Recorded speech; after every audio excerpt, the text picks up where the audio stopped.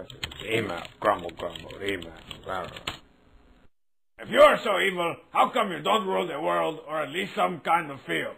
Mike Uck. What are you talking about, Mike Uck? I mean, I've totally ruled that field out behind the dumpster since, like, diaper school, man. Ah, my kingdom continues to flourish. Uh, carry on, everyone.